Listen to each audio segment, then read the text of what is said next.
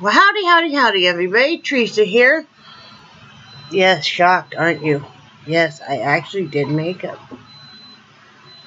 As you can tell, I do very light makeup.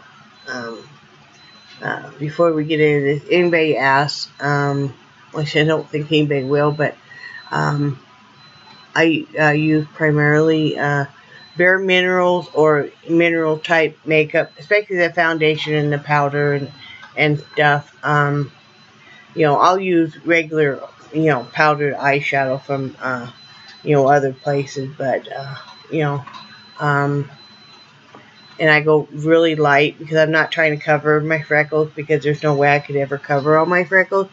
And if you saw me in person, I'm very, very light skinned, um, and I have a lot of freckles.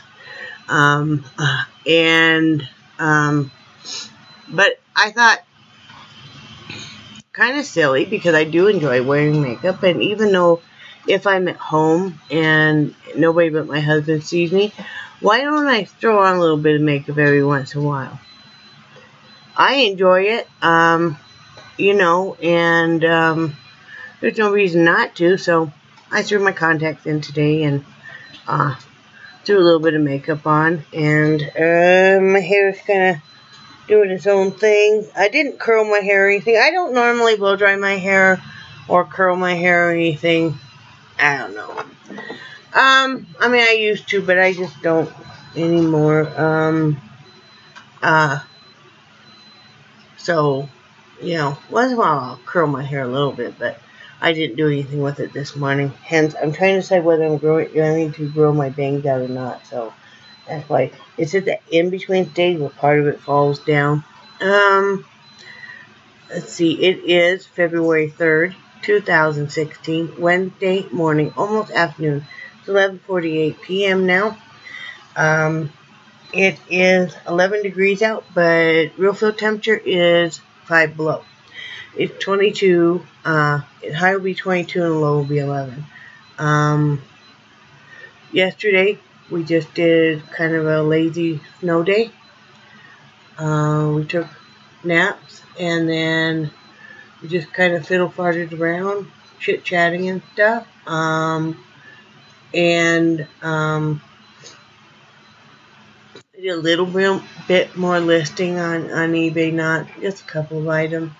Um, and uh, then I got to talk to my uh, uh, best friend Dina, Mosquito Valley, uh, for a couple of hours. We were hooting, hollering, having such a great time.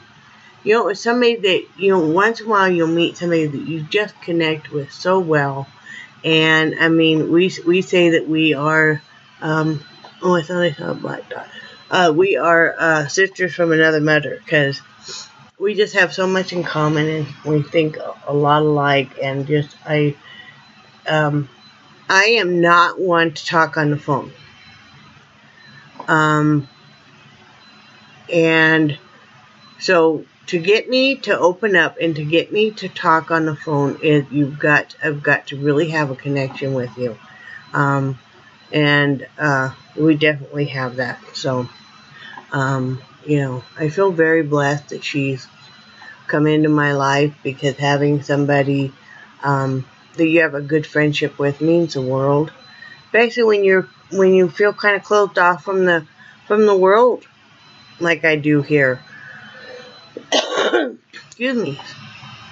So it really means a lot. Really made my day, made my week. Um, you know.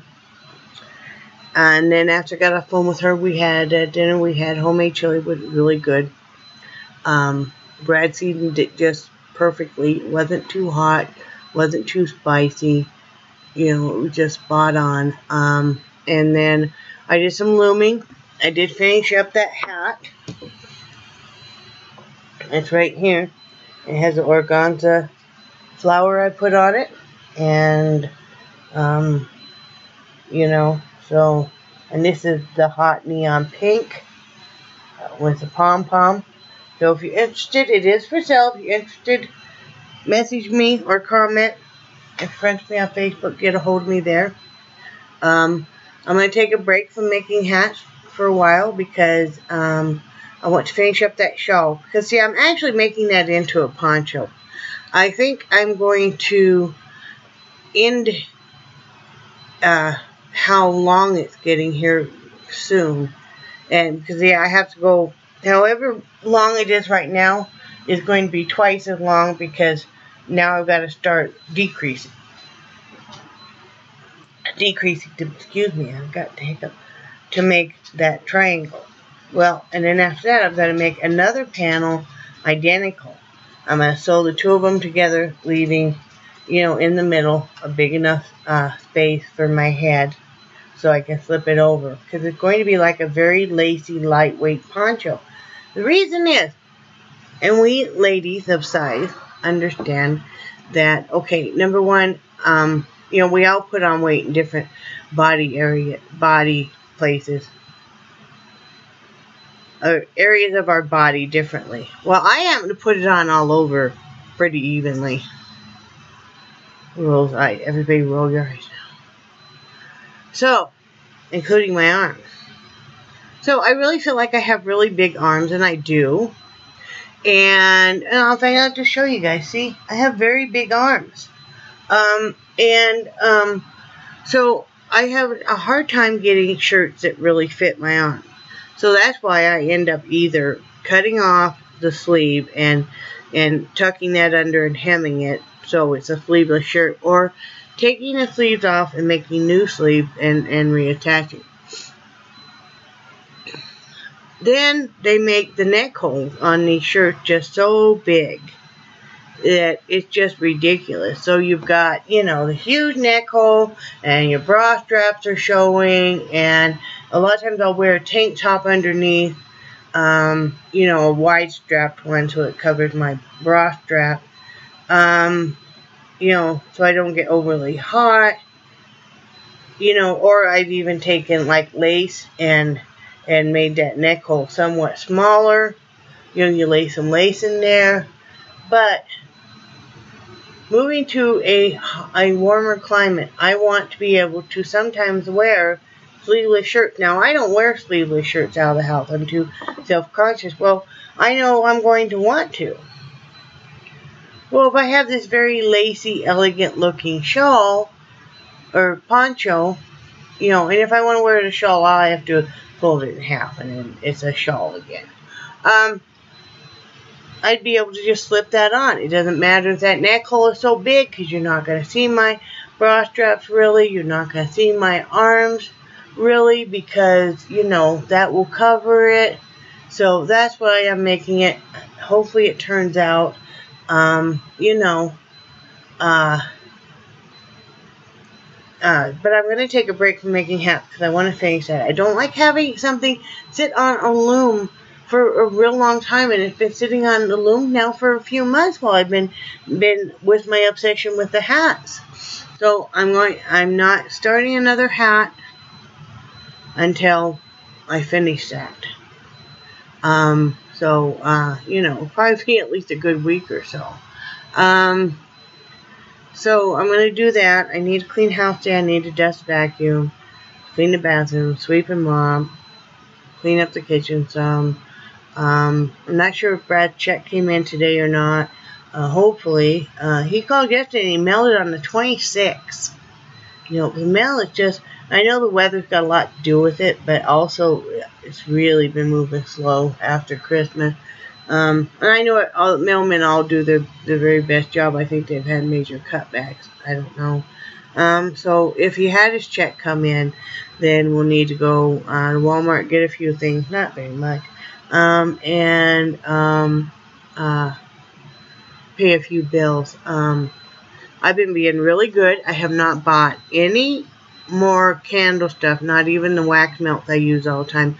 I've been using up what I have so, um, yeah, I've been really good about that. I haven't been um, spending money on really anything we don't need. Um, I've been going to the Dollar Tree hardly at all, and, and even when I do, it's usually just for what we need. Um, uh, of course, I haven't I haven't been buying any more yarn because you know I can't really afford that. So that's you know but i have really great friends like deet and and and dina and stuff that send me yarn and i just you know and it's just the biggest biggest wonderful surprise when somebody's you know like what kind of yarn? What kind of yarn? You know um uh you know.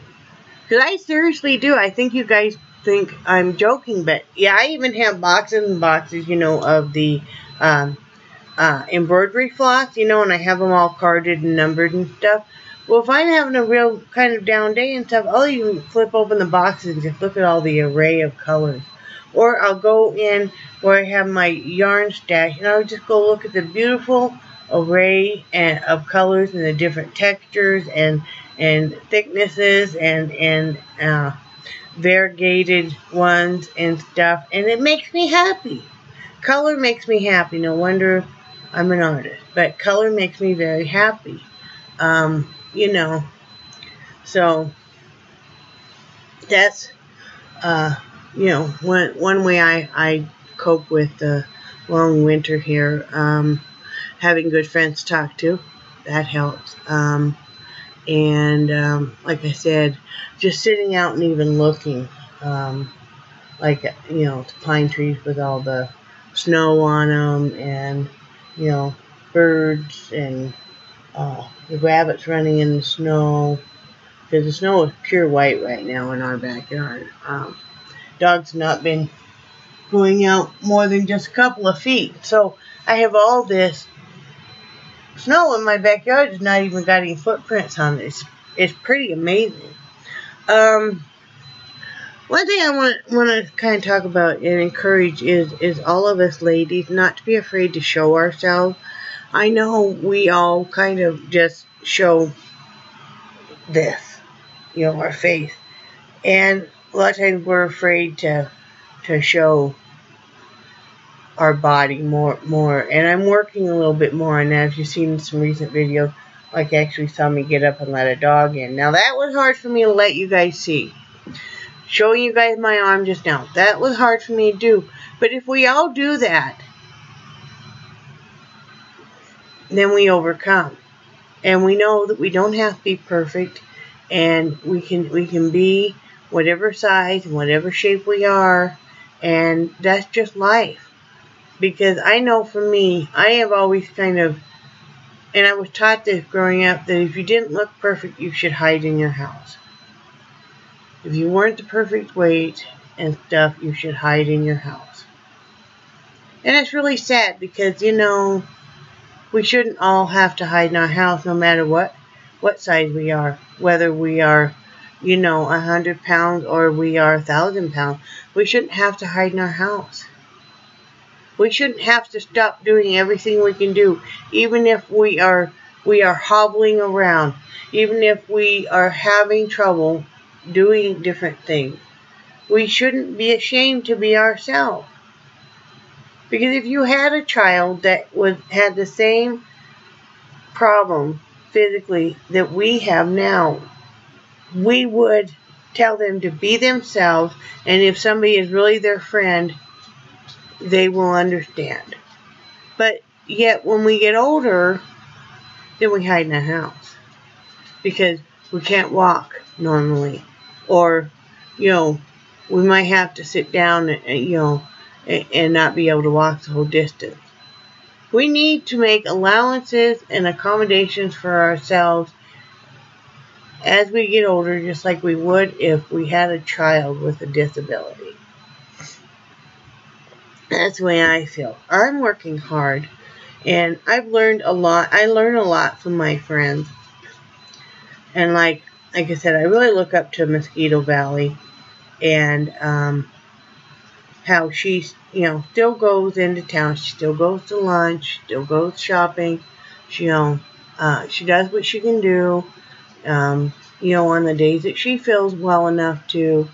And it's like, you know, and I mean, the lady is still a lady and she still does her hair and her makeup and stuff. And I really have learned a lot from that. It's like, uh, you know, I do need to just, you know, go ahead and take care of myself. I do need to go ahead and, you know, go shopping and not hide in my house and not be afraid that somebody's going to make fun of me my husband has made me in the past because I have such bad social anxiety. It makes me go out of the house.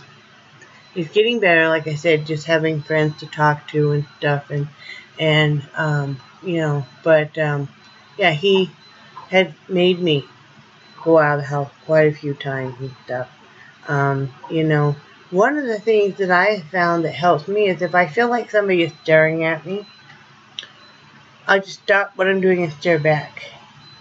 And it's funny how then they'll just kind of look away. And it's like, if you got a problem with, with me, that's your problem. It's not my problem. It's not my problem that you don't like how I look. That's your problem. Uh, you know, who said I like how that person looks?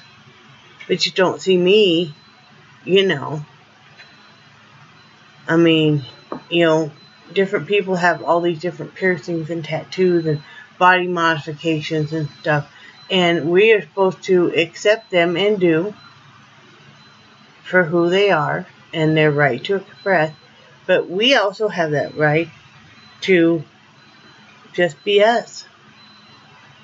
And to, we have the same rights as everybody else to enjoy things. I do think that they should have seating for, you know, us plus size people because you know, the obesity epidemic is becoming worse and worse. So why not have some seating that that accommodates? Um, you know, industry is really messing out because if they had seating that accommodated more people of size and stuff, we wouldn't all be in our house doing so much. And so we would spend more money, you know, at restaurants and stores and concerts and, and etc. Just my opinion. So I just want all my friends to know that I love you and I accept you whatever you look like. Don't be ashamed. Don't be ashamed to show what you look like with makeup, without makeup. You know, if your hair is done, if your hair is not done, you know, whatever. Because I just enjoy who you are as a person. You know, and don't be ashamed you know. Let's not keep shaming ourselves. Because that's what we've been taught by society. You know. I started dieting. My first diet was put on when I was 10 months old by a doctor. And I've dieted all my life up to this size. I was bulimic starting in high school until uh, about the year 2001 the last time I, I and I was I used laxatives. And that's what they think part of my problem is with the IBS is that I've messed up my system so much. Um, uh, and all the dieting and stuff. The doctor thinks all the dieting and stuff has really messed up my stomach. Um, and then the abuse of laxatives and stuff. Um, you know, nobody ever thinks that somebody who is of size ever had um, an eating problem on the other side of the spectrum. And oh, yeah, it goes hand in hand. You know, and a lot of times how we handle not doing the anorexia or the bulimia is we just kind of just let ourselves, you know, eat whatever. Because, you know, we don't you know, to me, I have to be very careful. If I'm on a real strict diet, it feels like then I start thinking that I should do the bulimia again. I won't because it would probably kill me. Um, but, you know, that just comes back, you know, because you get so, with me, I get so hungry on a real strict diet. So then my mind said, well, you can go ahead and eat that and get rid of it. I'm just being very brutally honest here.